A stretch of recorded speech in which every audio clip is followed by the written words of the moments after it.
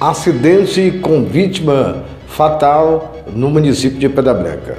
Um acidente envolvido com duas motos deixa vítima fatal na BR-226, no município de Pedra Branca. Há pouco mais antes de meia-noite desse último domingo, o Copom foi informado que teria ocorrido um acidente de trânsito com vítima fatal nas proximidades do sítio Radário, zona rural de Pedra Branca e que duas vítimas já ferida sido socorrida para o Hospital São Sebastião, sendo em que uma das vítimas teria chegado ainda com vida, mas não resistiu aos ferimentos. Veio a óbito logo na entrada do hospital. A vítima, de nome Antônio Cosmo, de 32 anos, e a outra vítima, Marcelino Ferreira, de 20 anos que sofreu é, fraturas e foi transferido para o IJF. Seja a vítima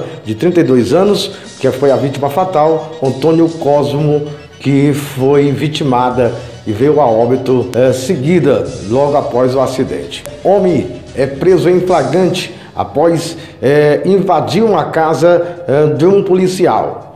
Isso aconteceu um roubo na cidade de Pedra Branca, onde uma moto foi furtada em Pedra Branca. Por volta das 20 horas desse último domingo, a Polícia Militar foi é, informada de um, um assalto que ocorreu de uma moto no bairro Riso do Prado, na cidade de Pedra Branca.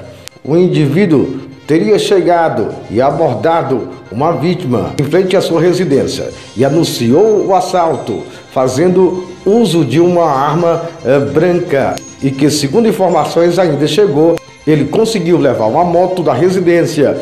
Após o fato, a polícia foi acionada e, em perseguição, pegou o indivíduo. O nome do acusado não foi divulgado, mas foi capturado pela a Guarda Municipal e a Polícia Militar do município de Pedra Branca.